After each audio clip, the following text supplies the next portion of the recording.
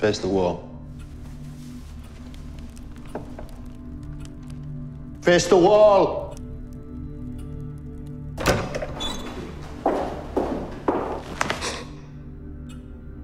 My father bought you, along with a piece of land not fit enough for a cow to graze upon.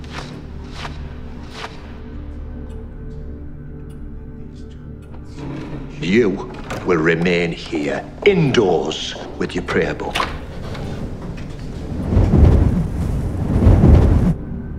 I understand you've been taking the air lately.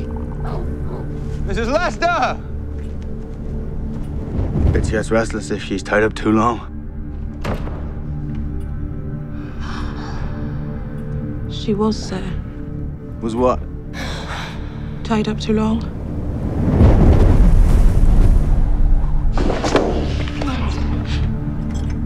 Sit back down. No, he Sit needs- down.